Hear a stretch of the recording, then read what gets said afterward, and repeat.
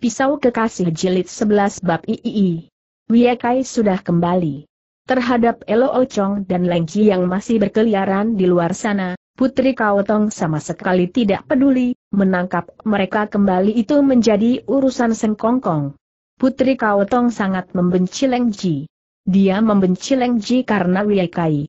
Asalkan Wiekai berada di sisinya, apa pun tidak akan dia pikirkan lagi. Bukankah dia adalah laki-laki terbaik di dunia ini? Tentu saja tidak. Tapi di mata kekasih, dia orang istimewa. Seperti orang yang senang makan ikan kakap bila diganti dengan ikan kembung, belum tentu dia sama suka. Putri Kaotong tidak peduli lagi mengejar terpidana yang masih melarikan diri. Sengkongkong bisa melihatnya sendiri. Tapi Sengkongkong tahu pola pikirnya.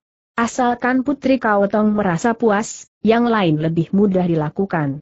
Dulu Bu Cek Tian mendapatkan seorang laki-laki seksi yang sangat dia sukai, namanya adalah Chia Huai karena terlalu senang dia mengubah negaranya menjadi tahun yang menyenangkan.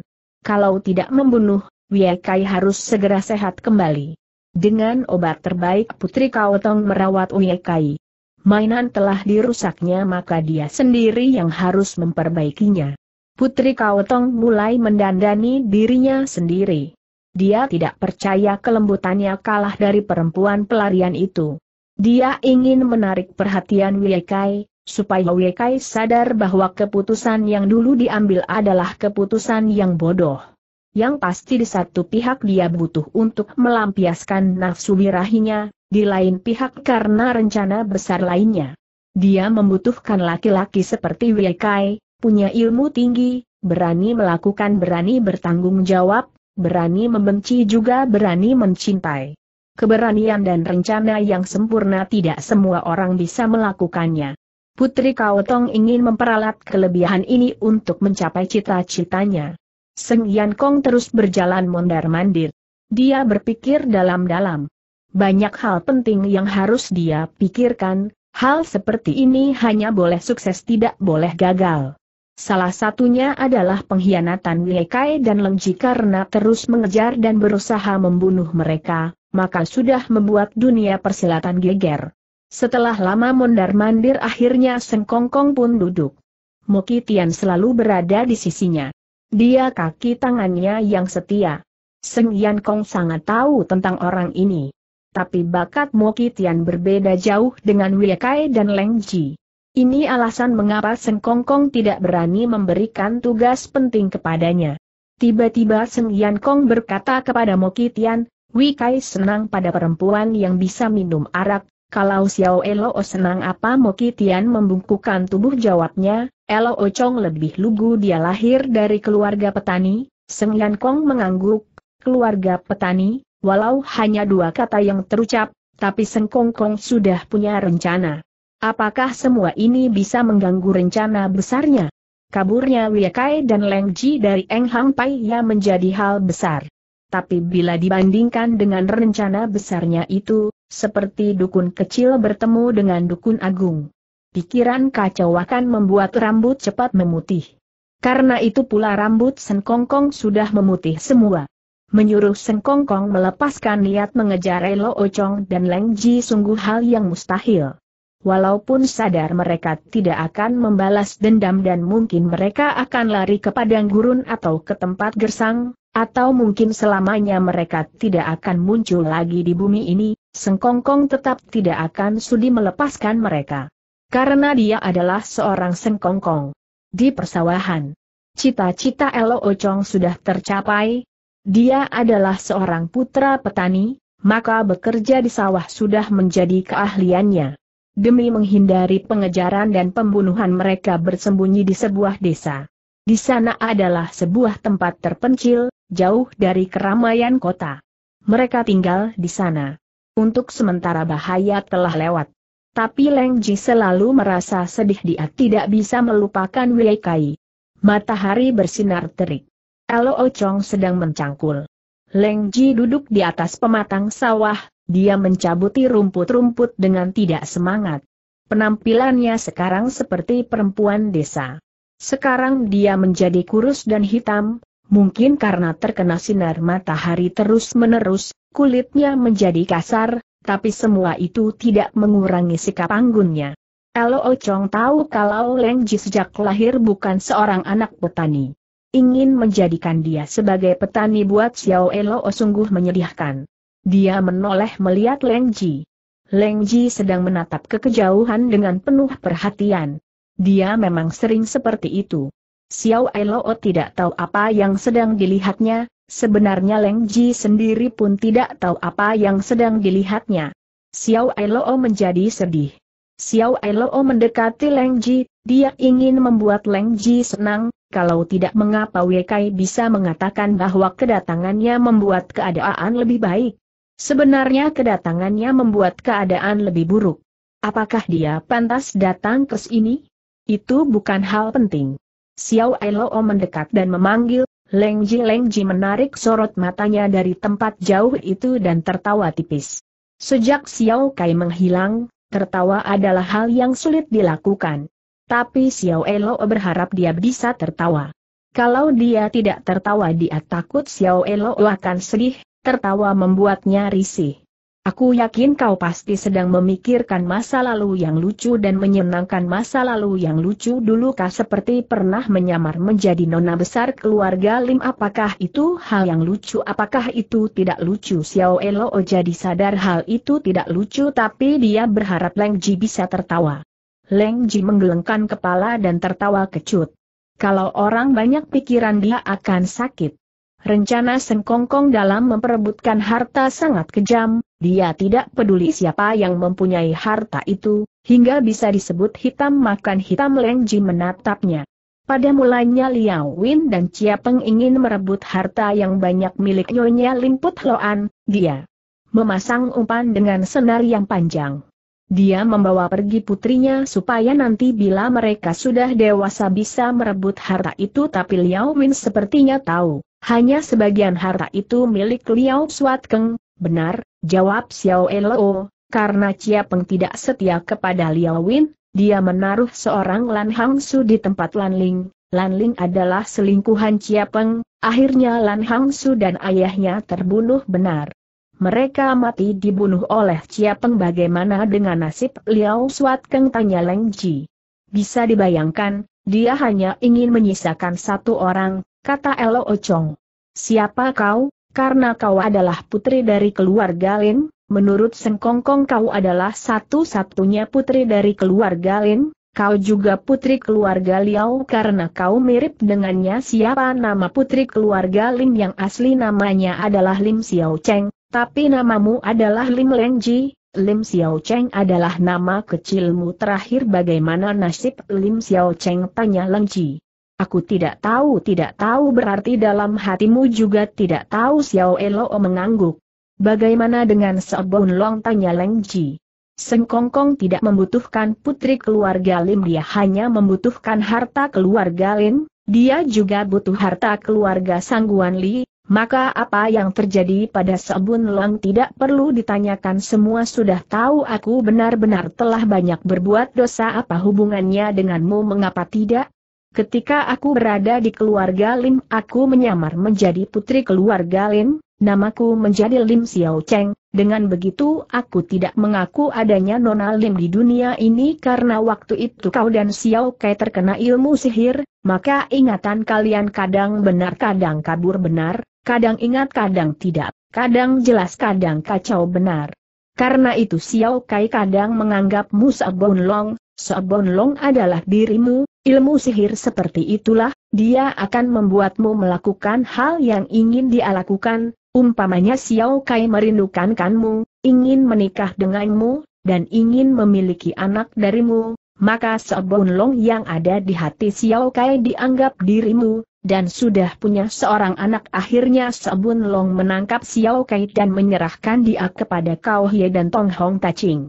Seabun Long juga sama terkena ilmu sihir dan dia diatur untuk melakukan hal apa pun kata Elo Ochong. Leng Ji terdiam.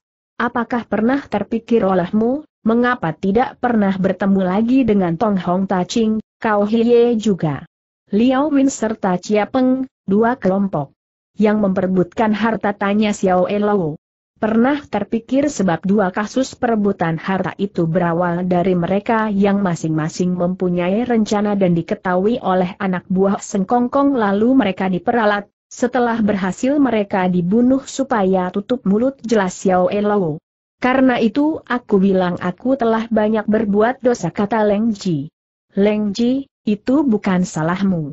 Kau dan Xiao Kai hanya korban. Aku ingat waktu itu kadang-kadang aku tahu kalau aku bukan putri Limput Loan yang bernama Lim Xiao Cheng, kadang aku juga tahu kalau aku Lengji tapi aku tidak berani untuk memastikannya. Xiao Kai juga pasti seperti itu. Waktu itu dia mencegat keretaku tapi dia tidak tahu siapa aku. Sulit untuk diungkapkan.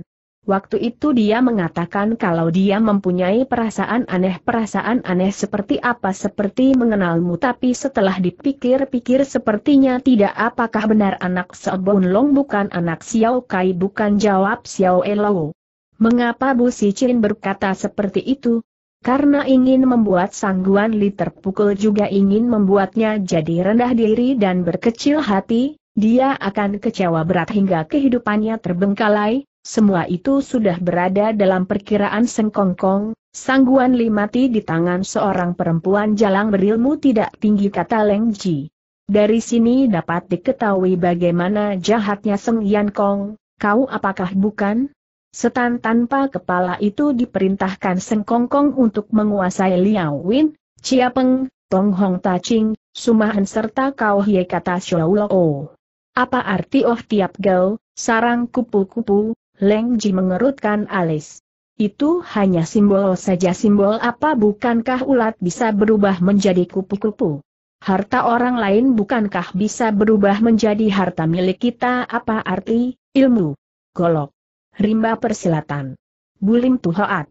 Kipas lipat milik Xiao Kai adalah Tuhoat, Sengkongkong menyuruhnya menggunakan kipas supaya bisa menutupi identitas sebenarnya, sewaktu Xiao Kai masuk Pai ya dia sudah menguasai ilmu itu Leng Ji terdiam lagi. Singkat kata, waktu itu pikiran kalian benar-benar tidak normal, ingatan kalian hilang sebagian, kadang-kadang malah sangat kacau, kadang-kadang mengira kau Leng Ji kadang-kadang merasa bukan, kadang-kadang malah merasa menjadi putri keluarga Lim. Xiao Kai pun demikian, kadang-kadang mengira dirinya Xiao Kai kadang-kadang bukan. Bisa dikatakan dia menjadi dungu dan bebal, dari sini terbukti kalau ilmu sihir Sengkongkong belum sempurna, Leng Ji menundukkan kepala. Pikiran manusia tidak pernah berhenti. Walau kau tidak ingin memikirkannya tapi pikiran ini akan terus mengganggumu. Leng Ji ingin untuk sementara melupakan semuanya, tapi apakah itu mungkin?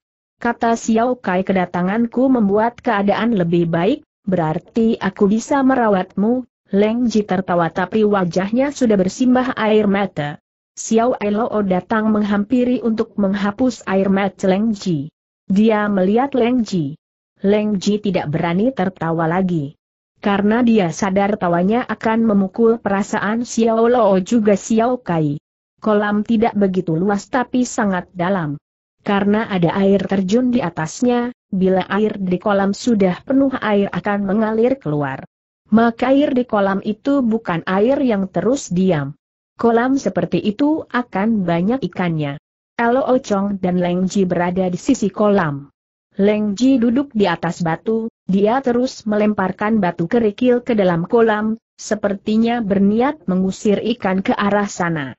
Xiao Elo berdiri di tengah air, celananya digulung tinggi.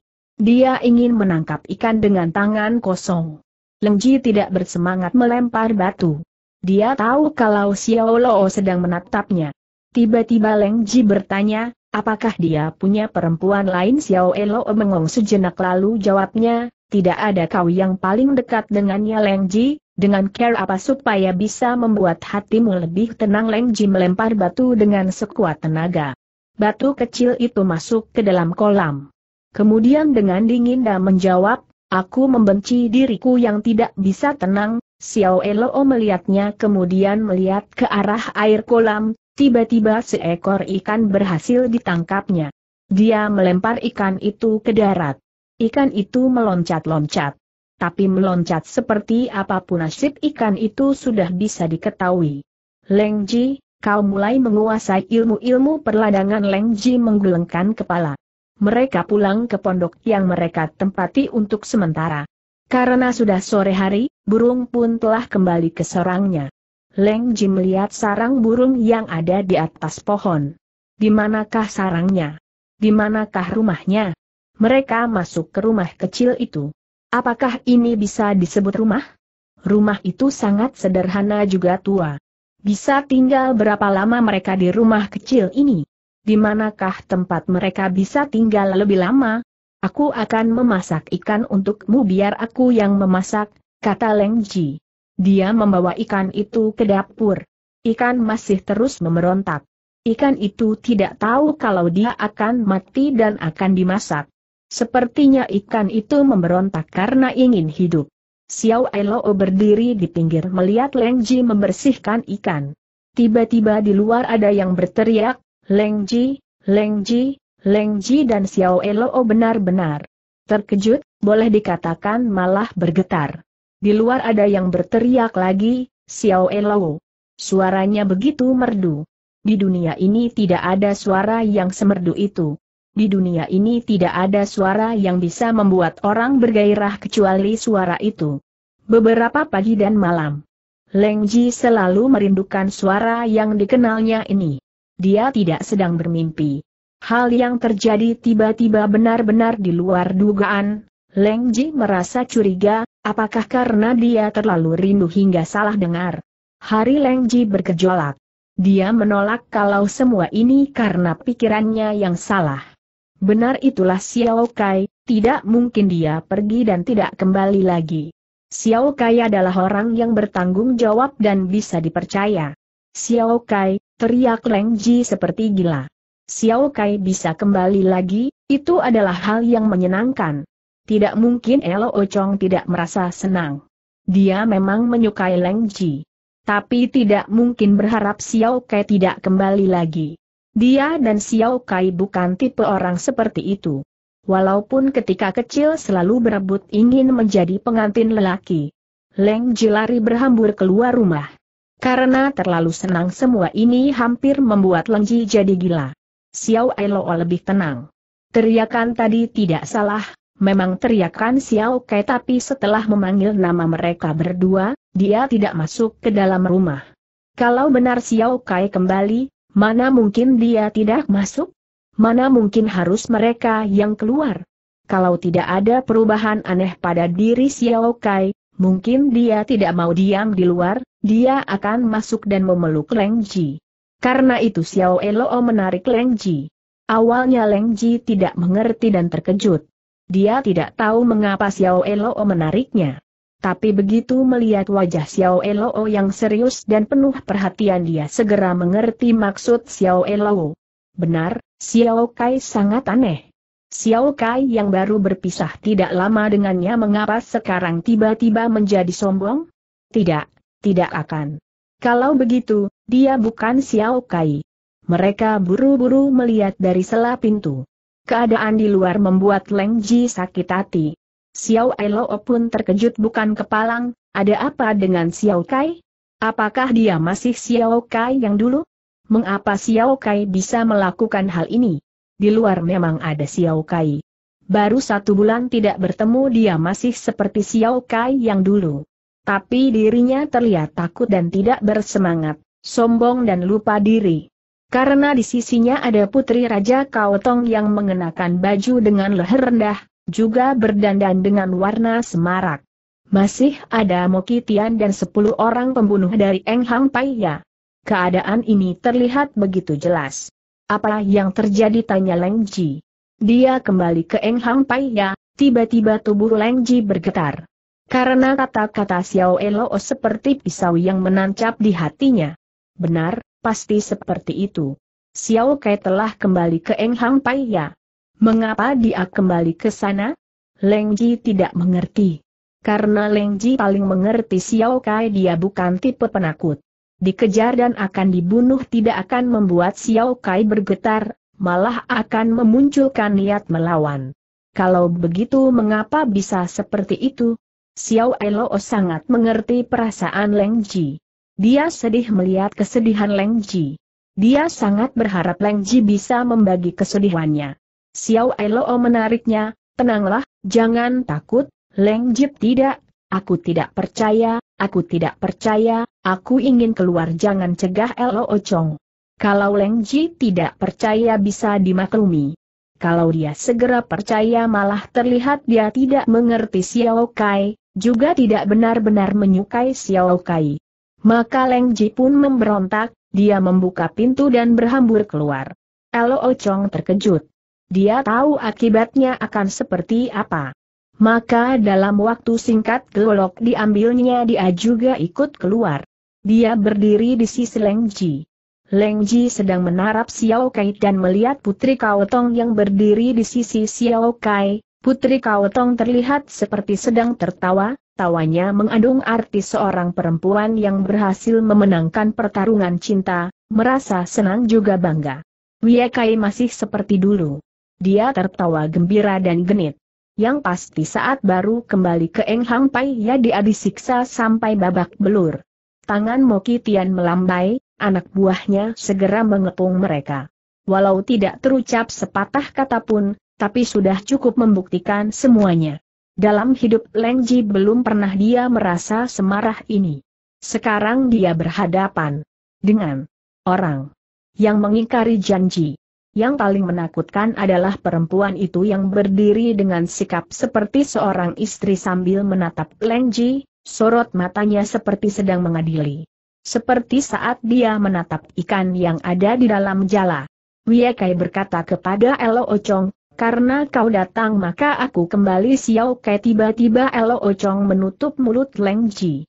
Dia ingin Wei Kai terus bercerita. Walaupun bukti sudah ada di depan mata, tapi dia harus menjelaskannya. Orang yang benar-benar cocok denganmu adalah Xiao Lo, kalian sangat serasi, aku tidak mau terus berlari, aku tidak mau hidup seperti itu. Aku mewakili Eng Hang Pai yang menjodohkan kalian sorot Mat Mo Tian tidak pernah meninggalkan Wei Kai. Dia sepertinya sudah punya tugas menguji kesetiaan Wei Kai. Kesetiaan seseorang yang pernah bermasalah selalu akan dicurigai. Leng Ji pernah merasa dirinya akan hancur berkeping-keping. Dia seperti terbuat dari serpihan salju, begitu terguncang akan hancur. Semua masa lalu tampaknya sudah tidak berarti lagi. Semua tiba-tiba berubah menjadi tidak terlihat dan tidak bisa diraba. Leng Ji berteriak histeris, Wiekai, dia datang ingin memukul Wiekai. Setiap pagi dan malam dia merindukannya sekarang yang dia dapat hanya kalimat yang tidak bertanggung jawab. Wiekai menghindar.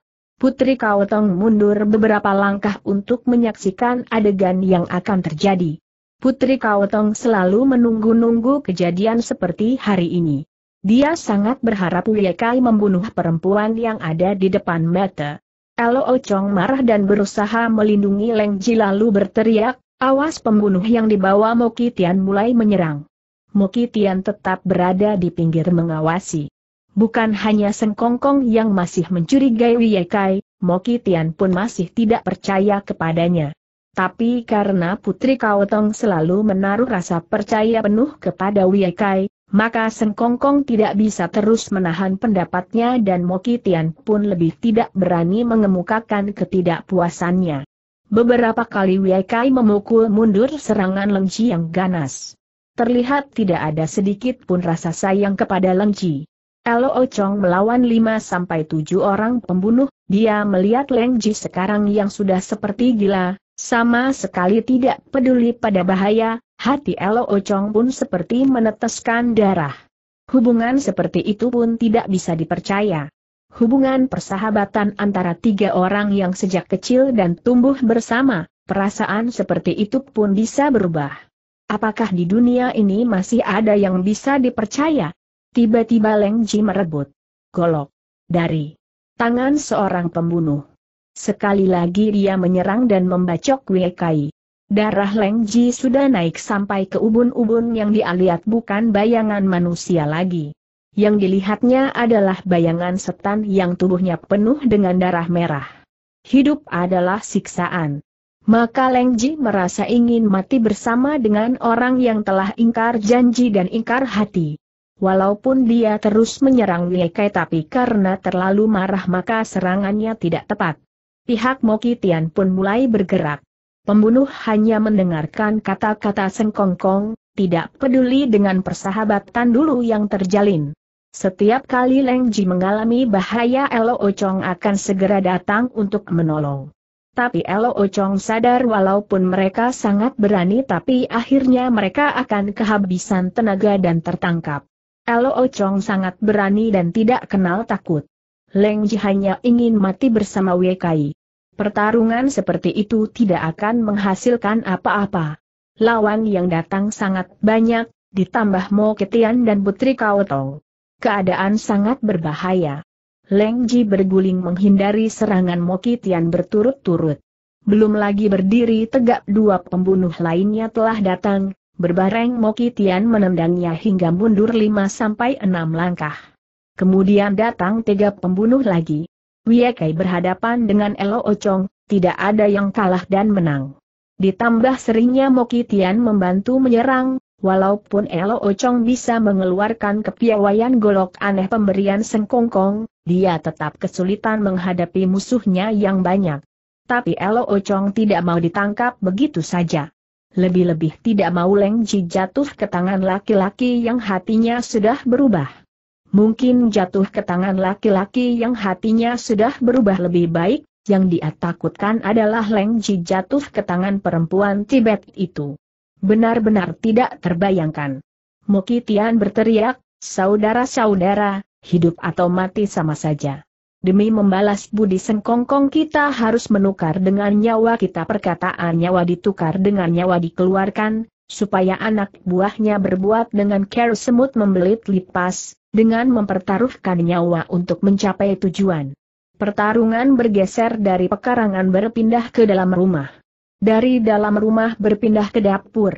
Dengan pedangnya Moki Tian menusuk jala yang berisi ikan hingga berlubang, seekor ikan akan tergelincir terjatuh ke bawah dan terus meloncat-loncat.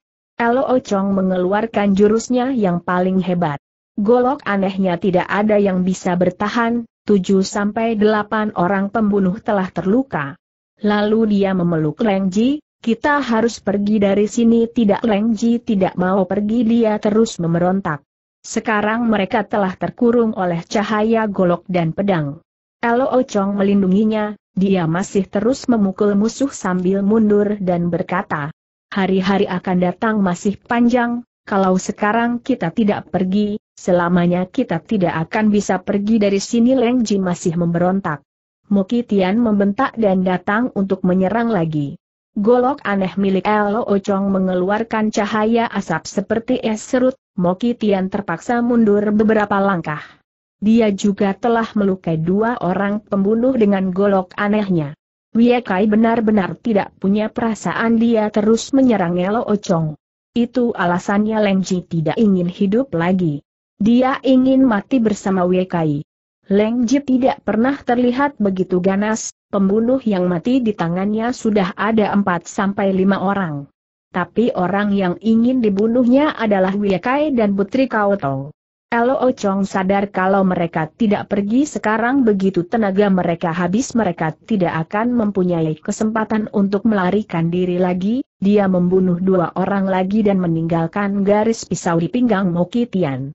Lalu dari belakang dia memeluk pinggang Leng Ji dan berkata, kita pergi.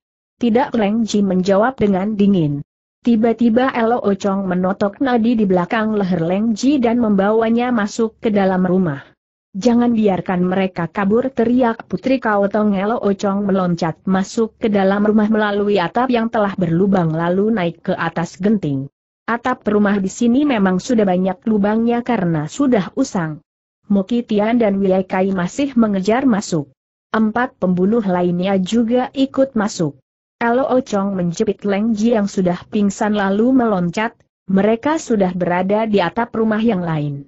Pembunuh masih mengikuti mereka dari belakang, mereka ikut meloncat karena menginginkan banyak emas, bermain dengan nyawa pun tidak masalah.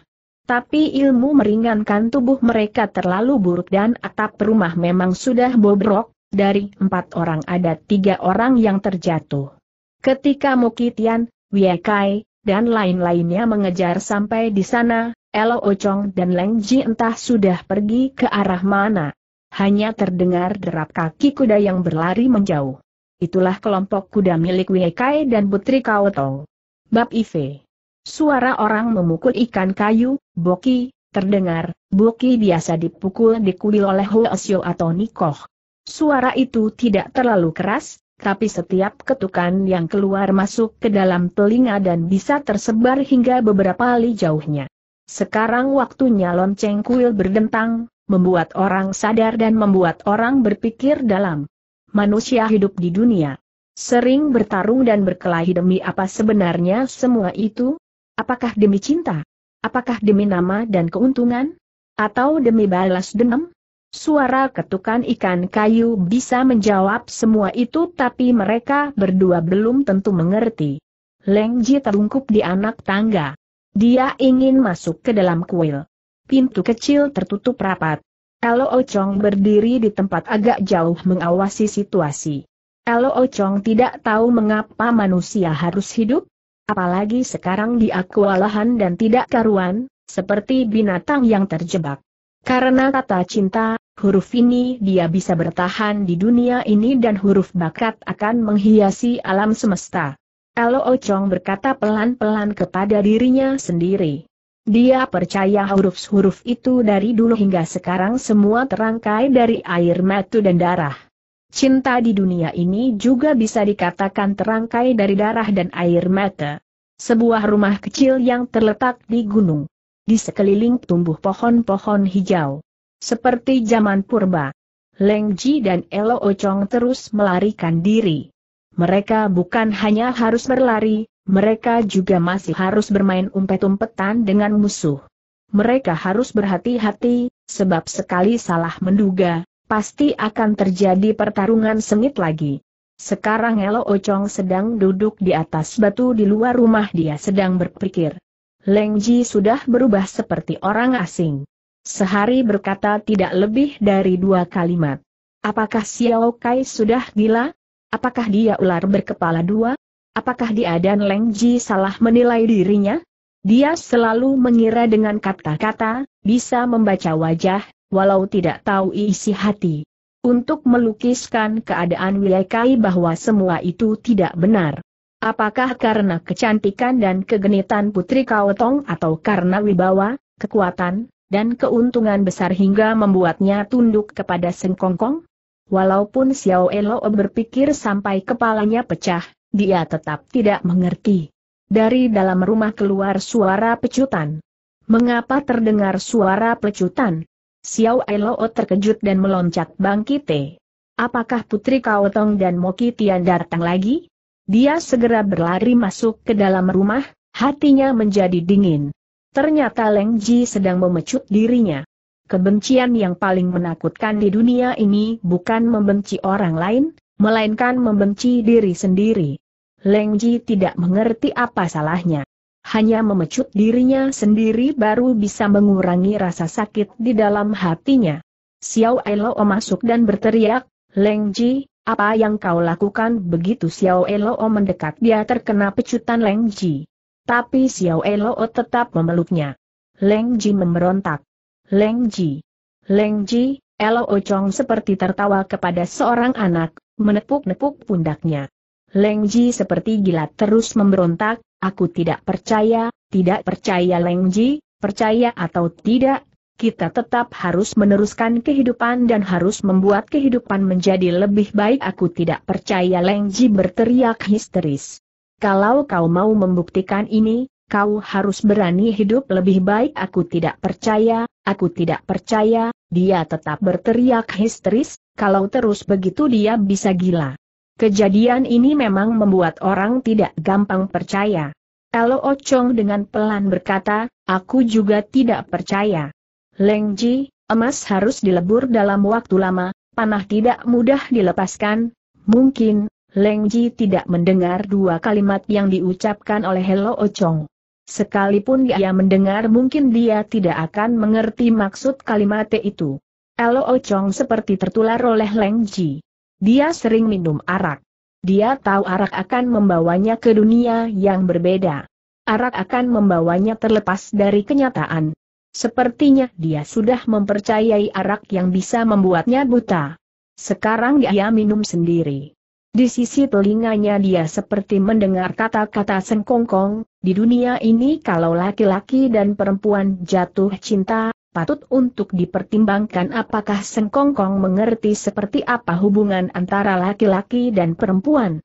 Kalau di dalam semesta ini jumlah banyak yang mempunyai perasaan yang patut dipertimbangkan, mungkin hanya cinta, bukan laki-laki dan perempuan. Tentu saja Elo Ocong tidak mengerti prinsip yang begitu dalam. Di rumah lama masih terang benderang. Putri Kaotong berada di dalam kamar rahasia yang penuh dengan corak budaya. Kata Wekai, aku tidak setuju dengan kata-kata Kongkong tadi kata-kata yang mana di dunia jika laki-laki dan perempuan terikat cinta patut untuk dipertimbangkan Putri Kaotong setengah bersandar di ranjang besar. Wekai berbaring sambil meletakkan kedua tangannya di belakang kepala. Terhadap hal di mana dulu dia pernah melarikan diri dalam ingatan Putri Kaotong semua itu sudah memudar kebencian antara laki-laki dan perempuan begitu naik ke atas ranjang sangat mungkin akan mencair. Paling tidak untuk sementara waktu bisa ditutup dan dikesampingkan dulu. Apalagi Wiekai adalah orang yang pandai bermain cinta. Dialah Kongkong, itulah care dia melatih orang untuk menghadapi perubahan yang tidak biasa, dia benar-benar membutuhkan orang berbakat kata Putri Kaotong. Aku bukan orang biasa tanya Wiekai. Metu genit putri Kaotong terus berputar, kau memang bukan orang biasa, kalau tidak, aku tidak akan memaksa Kongkong membunuhmu. Di mana kau berada saat melihat kami menjalankan eksekusi di ruangan rahasia? Bagaimana kalau kepalaku benar-benar dipenggal? Apakah benar tidak mau dipenggal? Dari mana kau melihat aku bukan orang biasa kau, kapan aku bilang kau bukan orang biasa? Putri Geteng balik bertanya. Kata-katamu sungguh tidak berpangkal dengan jari telunjuknya Putri Kaotong membereskan rambut Wiekai, aku ingin memenggal laki-laki yang tidak berperasaan kegenitannya benar-benar membuat laki-laki tidak bisa menahan diri. Semua perempuan di dunia ini sama saja, apakah dia adalah si cantik dari selatan atau gadis biasa, atau putri orang kaya, atau gadis-gadis dari perbatasan. Asalkan dia perempuan, dari lahir sudah mempunyai naluri untuk membujuk dan merayu laki-laki. Mengapa kau menatapku terus tanya Putri Kaotong? Kalau bulan sedang terang, kita harus melihat ke atas, kalau gelap kita menundukkan kepala mengapa waktu menikmati keindahan bulan purnama malah bermain bulan menikmati, kata ini dipakai di sini terlalu lemah lembut, lebih baik dikatakan bermain, itu lebih menarik aku tidak mengerti kata Putri Kaotong. Aku ingin tanya, kalau bermain di atas ranjang kita saling sopan seperti tamu, apakah akan seru Putri Kaotong memijit hidungnya? Wiekai sudah menarik Putri Kaotong ke dalam pelukannya. Dan mereka bergulingan di atas ranjang. Anak muda, laki-laki dan perempuan bila sudah menjadi sepasang kekasih, banyak care bermain cumbu-cumbuan. Baju Putri Kaotong terlalu tipis, hampir tembus pandang terlihat dua gunung tinggi dan montok. Bagi seorang perempuan Tibet hal seperti ini memang jarang terlihat. Pantas dia begitu berharap dan begitu genit. Wiekai menggelitik ketiaknya. Dia tertawa genit dan menghindar. Wiekai menarik kembali tangannya, kalau dari awal aku tahu kau begitu tidak berperasaan, aku lebih memilih dipenggal sambil terengah-engah Putri Kaotong membereskan rambut panjangnya dan bertanya, mengapa bersekongkol dengan lama, mengacaukan ibu kota, dan berencana memberontak? Bila tertangkap oleh pihak kerajaan, tetap akan dihukum mati, kata Wekai. Bagaimana kalau kita berhasil pelan-pelan Wekai mengelus elus paha Putri Kaotong? Tiba-tiba Putri Kaotong memeluknya, bocah.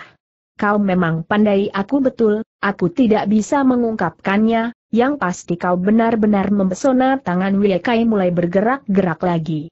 Putri Kaotong mencengkeram tangannya, Kau belum menjawab pertanyaanku. Pertanyaan apa? Bagaimana kalau kita berhasil? Apakah bisa berhasil? Mengapa kau tidak percaya kepadaku? Tiba-tiba Wekai membalikan tubuh dan menindih putri Kaotong lalu berkata, nanti kau dari seorang putri menjadi seorang ratu, aku adalah kesatria yang akan menjadi suamimu. Hahaha, kali ini putri yang membalikan tubuh menindih Wekai, aku benar-benar ingin memenggal kepalamu Wekai balik menindih lagi, kalau kepalaku benar-benar dipenggal siapa yang di atas rubuhmu sekarang Putri Kaotong memijit hidung Wiekai.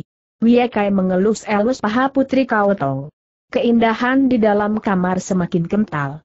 Keindahan di gunung lebih indah lagi. Bunga-bunga liar entah bernama apa.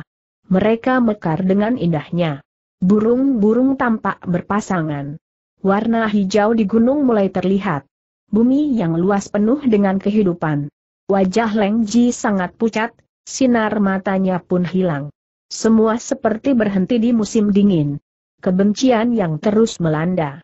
Kesedihan tanpa batas terus menggerogoti hati Leng Ji. Kalau dia bisa mengerti mengapa semua terjadi, dia akan segera mati. Tapi sebelum mengerti dia tidak akan mati. Tapi mati memang mudah saja melihat, hidup malah terasa lebih sulit. Bila seseorang merasa hidup ini sulit, coba kau pikir, hidup seperti apa yang akan dia jalankan? Sekarang Leng Ji berada di hutan bambu.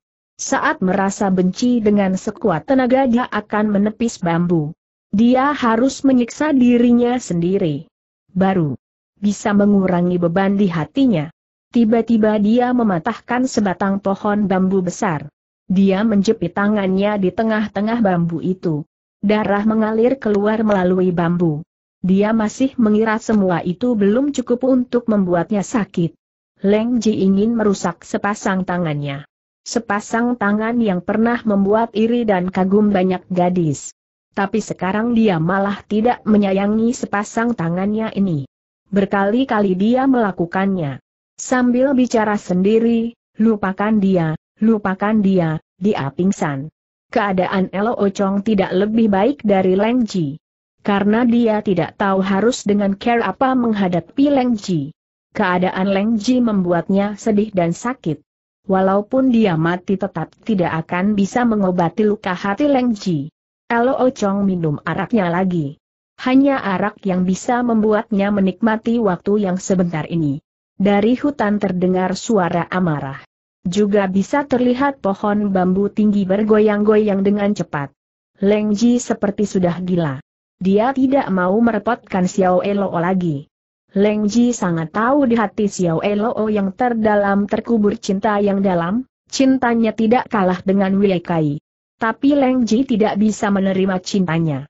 Cinta yang bisa diterimanya sudah berada dalam pelukan orang lain. Mengapa langit begitu kejam?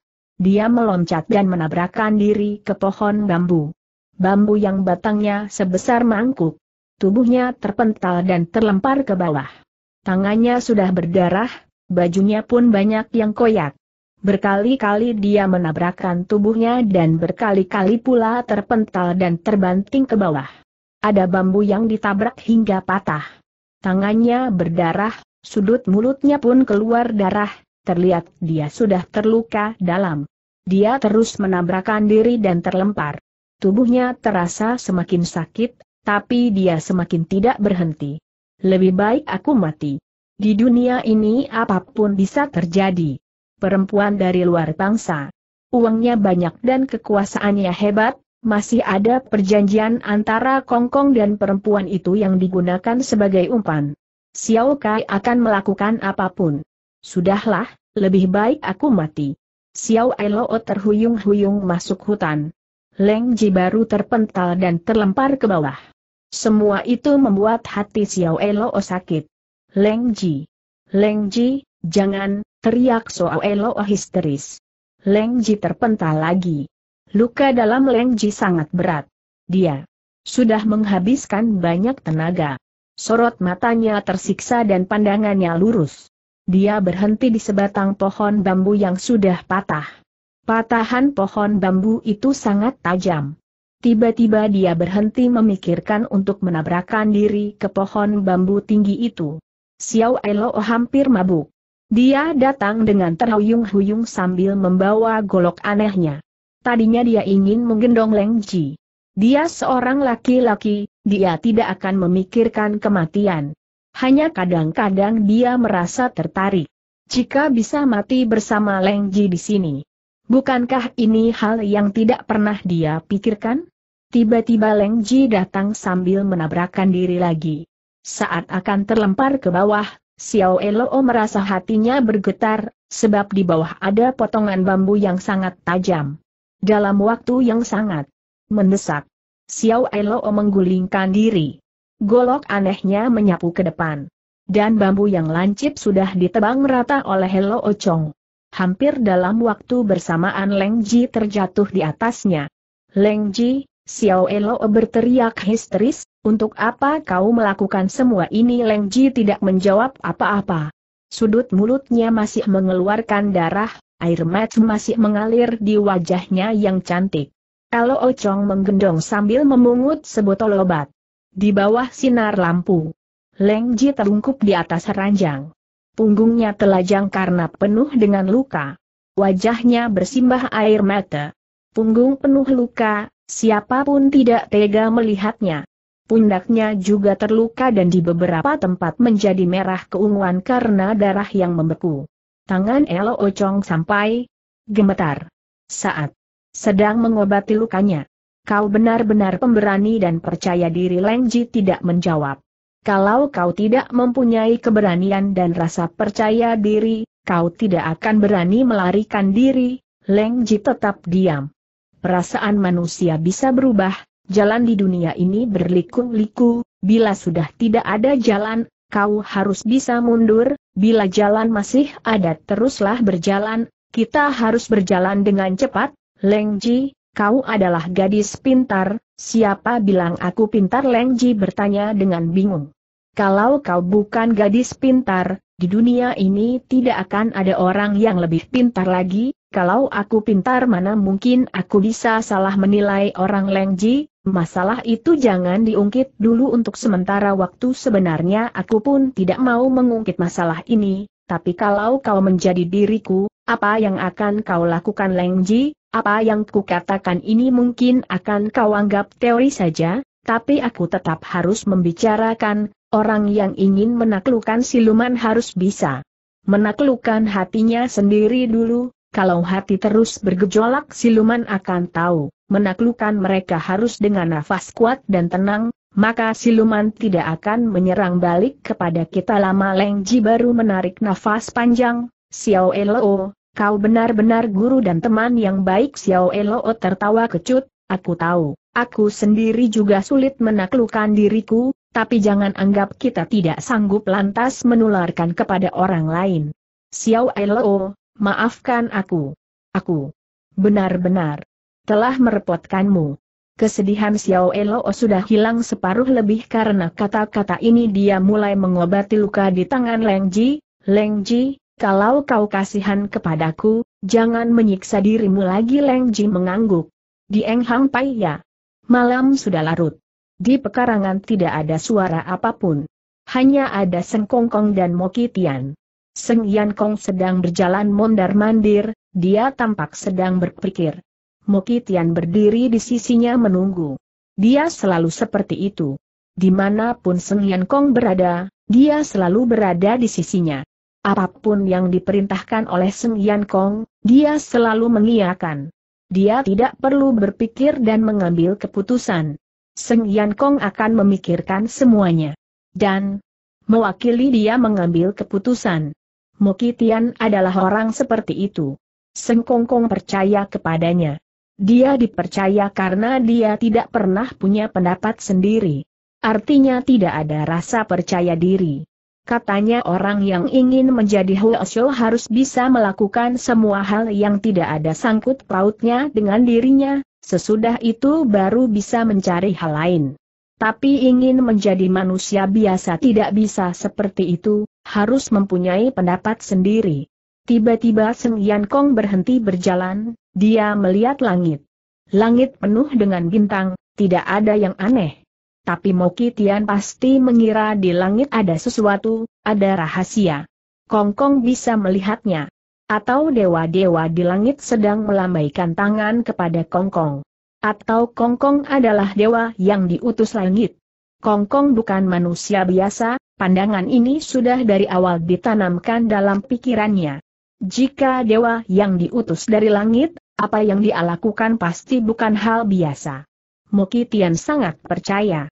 Bila seseorang sudah menjadi dewa, ayam dan anjing yang dipeliharanya akan ikut menjadi dewa. Maka dia sedang menunggu datangnya hari itu. Di dunia ini Kongkong akan melakukan hal besar-besaran dan berkobar-kobar. Moki Tian memang bukan orang pintar dan berbakat, dalam beberapa waktu ini dia mempunyai banyak masalah kecil. Hubungan Kongkong dan Putri Kaotong sangat akrab. Hubungannya dengan ruang lama pun akrab. Kongkong sedang melakukan hal penting. Ki Tian Seng Yan Kong berteriak. Ada menurutmu, kali ini kepulangan Wiekai, Mo Ki Tian terpaku. Karena dia benar-benar tidak menyukai Wiekai. Perasaan ini mulai ada ketika Wiekai datang ke Hong Pai ya. Dan tidak sukanya bukan hanya sekarang saja tapi sudah sangat lama. Wiekai pintar, dia sangat berbakat dalam ilmu silat. Dia juga ceria, berjiwa besar, tampan pula. Semua perempuan menyukainya. Awal-awalnya yang mengetahui hubungan akrab Wiekai dengan Leng Ji juga dia. Yang melapor dan mengadu kepada Kongkong juga dia. Agar Kongkong percaya, dia diam-diam membawa Kongkong melihat Wiekai dan Leng Ji yang bertemu secara rahasia, maka Kongkong segera menyusun rencana merebut harta benda milik Seng Yan Anu, dia menjadi lakon penting. Mukitian bukan orang yang selalu berada di bawah orang lain. Kadang-kadang dia bisa pintar. Dia tahu setelah Kongkong melihat pertemuan antara kekasih itu pasti akan ada reaksi. Karena Paman Mokitian juga seorang Kasim. Dia sangat tahu bagaimana kehidupan pribadi seorang Kasim dan isi hati mereka. Maka rasa sayang Seng Yan Kong kepada Wiekai dan Ling segera hancur. Setelah berhasil merebut harta dengan tuduhan kejahatan kepada mereka maka mereka diganjar hukuman penggal. Kongkong masih melihat langit, dia bertanya, bagaimana pendapatmu, Kitian? Kongkong, aku merasa seorang Wiekai terlalu licik oh dan aku menganggap dengan kembalinya dia seorang diri, ada sedikit janggal-janggal betul, Kongkong coba kau jelaskan lebih detail. Baik, Kongkong Mokitian mendekati Kongkong, Sambil membungkukkan tubuh dia berkata, lapor Kongkong, aku sangat mengerti seorang Wiekai, maka aku minta pendapatmu Kongkong, dengan adanya hubungan antara Wiekai dan Lengji, ditambah dengan sifat Wiekai, aku yakin tidak mungkin dia mengkhianati Lengji alis Seng Yan Kong segera berkerut. Dia benar-benar tidak bisa membantah kata-kata Mokitian. Tapi mengapa setelah kabur dari Eng Hang Pai ya, seharusnya dia bebas, tapi mengapa dia kembali dengan menempuh bahaya semua orang tidak mengetahui jawabannya. Siapa yang menjamin setelah kembali ke Pailia, Wiekai masih bisa mempunyai kesempatan untuk hidup lagi. Tapi Seng Yan Kong tetap menghargai pendapat Mokitian. Karena Mokitian pernah berkata, Xiao Elo adalah anak petani dan dia sangat lugu, tidak lama kemudian orang yang diperintahkan mencari Xiao Elo dan Leng Ji menemukan mereka di sebuah desa. Walaupun akhirnya mereka tetap bisa kabur. Kata-katamu memang tidak salah. Hanya saja mengapa dia kembali lagi kemari tanya Seng Kongkong. Dia mempunyai rencana busuk-rencana busuk seperti apa? Aku, aku tidak berani menebaknya. Apa kau menduga dia benar-benar menyesal dan bosan dikejar-kejar? Mokitian berpikir sebentar, Kongkong, aku selalu merasa dia mempunyai rencana terselubung dan bukan karena cintanya kepada Putri Kawatong, apakah kau curiga dia mempunyai suatu hubungan dengan Putri Kawatong? Tanya Seng Yan Kong. Mokitian bukan orang bodoh, Hubungan Kongkong dan Putri Kaotong juga dekat tenaga dia tidak banyak bercerita tentang hal ini. Kongkong, hambamu. Tidak. Berani. Sembarangan menebak. Oh, Seng Yan Kong mulai mondar-mandir lagi. Ini benar-benar masalah yang harus diperhatikan. Terlihat Uye Kai benar-benar bosan, bosan terus berlari dan dia ingin mengubah kesalahannya. Ditambah lagi dengan adanya jaminan dari Putri Kawatong, maka Kongkong pun memaafkan Wekai. Dia harus mengikuti kemauan Putri Kawatong. Saat kau, Wekai, dan Putri Kawatong pergi menangkap Elo Ochong dan Leng Ji, apakah kau melihat ada yang lain pada Wekai dengan gugup Moki Tian menjawab, Kongkong, waktu itu aku tidak melihat ada kelainan, Wekai pun seperti benar-benar bertarung dengan Elo.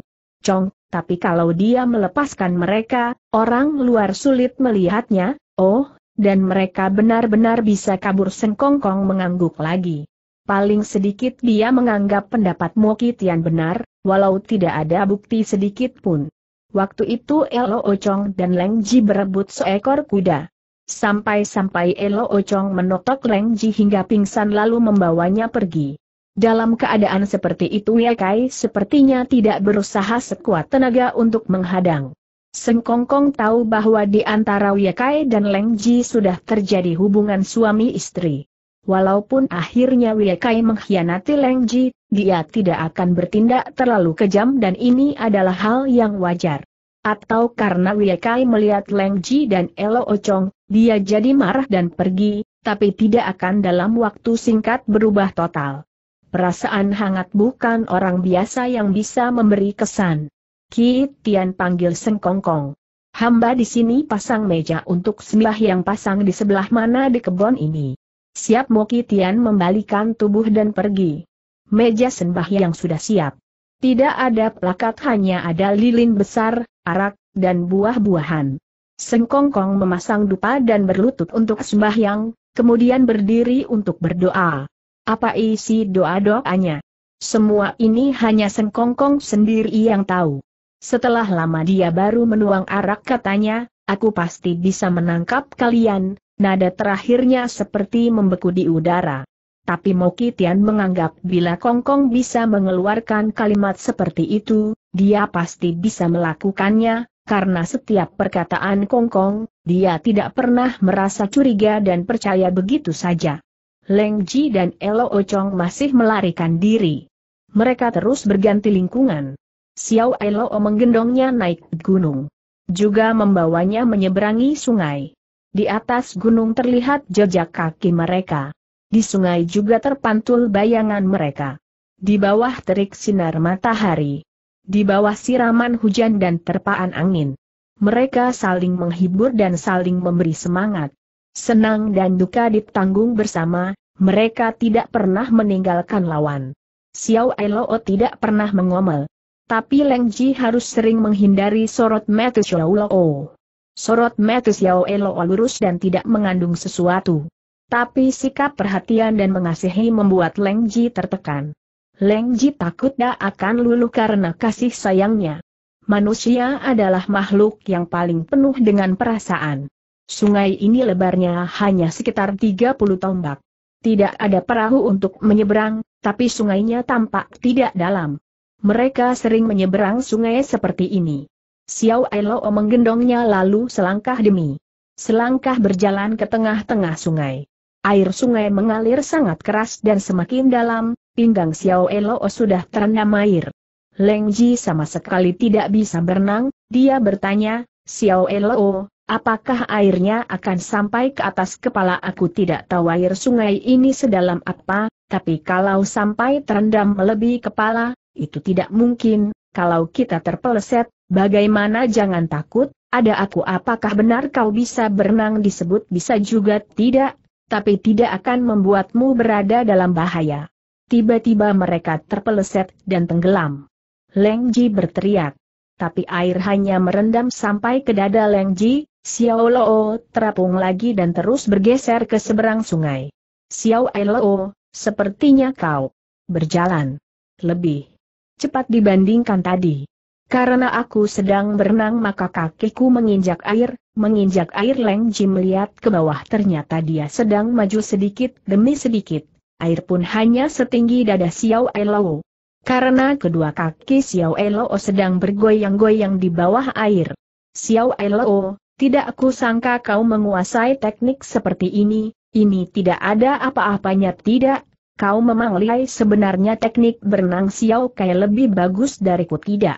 Jangan bicarakan tentang dia lagi Leng Ji memukulnya. Baik, kita buat perjanjian, mulut tidak bicara di dalam hati pun jangan memikirkan dia, kata Xiao Elo. Baik, kita berjanji. Di depan hutan ada bayangan berkelebat tapi mereka berdua tidak melihatnya. Untuk mengusir rasa sepi Xiao Elo sering mengajarkan pengetahuan tentang bertani kepada Leng Ji matahari belum terbit mereka sudah berangkat, udara belum panas. Mereka berjalan di gunung sambil mengobrol. Leng Ji, tentang cara bercocok tanam, apakah kau masih ingat?